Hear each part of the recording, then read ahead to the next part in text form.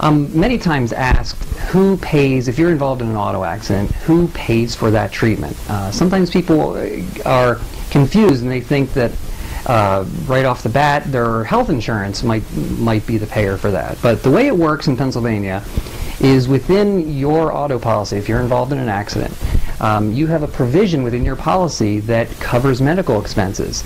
Um, so even if it's the fault of somebody else, and the idea is that so that you can quickly receive the needed treatment that you need to receive and to, to get better faster, of course.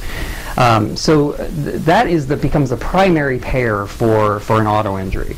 Now, af after that point, the other involved parties' insurance policy possibly could pay. If for some reason yours is not paying, uh, or if there's funds are exhausted, the other payer might might possibly pay.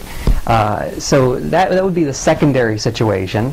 And then down the road, if, if for some reason both there's uh, issues or problems or, or, or funds are exhausted with those policies, at that point your health insurance uh, policy will will usually kick in and and cover your treatment as well too. So uh, that's that's who covers uh, accident injury therapy.